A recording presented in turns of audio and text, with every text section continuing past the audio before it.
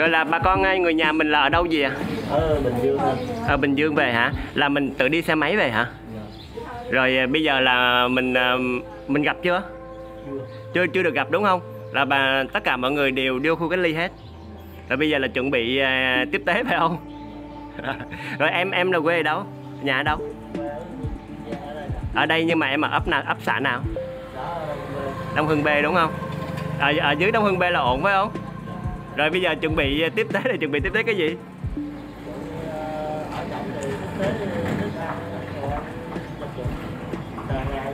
Vậy hả? Rồi ờ, bà con mình là ở trên Bình Dương là có đăng đăng ký ờ, trên cổng thông tin về không? Hay là mình tự ý mình đi về?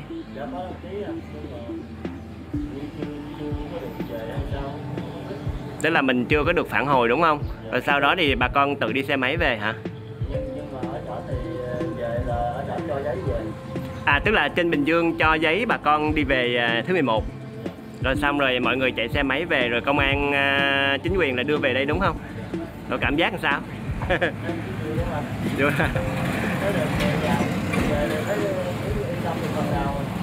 ừ. thôi chúc mừng nghe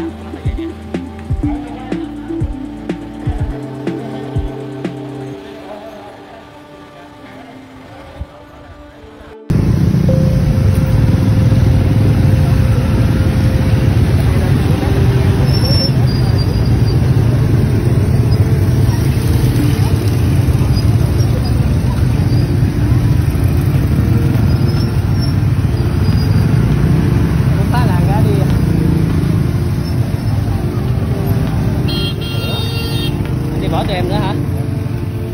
Sao rồi sao rồi? Nguyễn Công Hạnh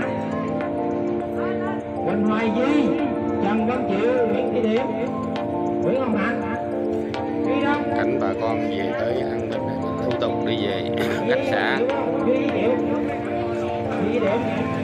bà con về xã Tân Thành đây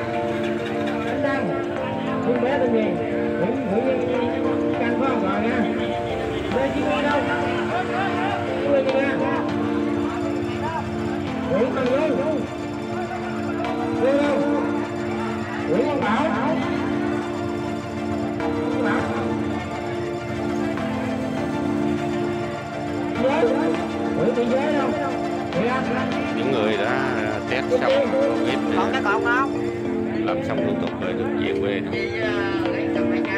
Về các xã đây là địa điểm an minh có trên trời theo luôn đặt tiền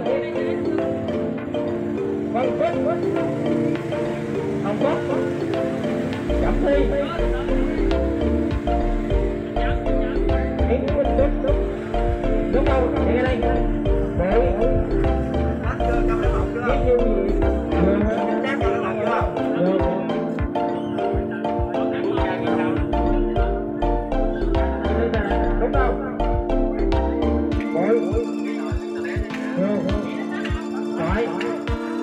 Hello.